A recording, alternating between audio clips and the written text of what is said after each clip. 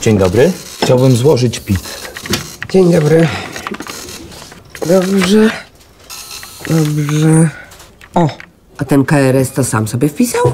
No tak, to jest numer organizacji, której chcę przekazać 1% swojego podatku. Ty też możesz poczuć się wyjątkowo. Przekaż 1% podatku wybranej organizacji pożytku publicznego i miej wpływ na otaczający cię świat. Wybierz organizację na stronie 1%.bankwiedzy.org.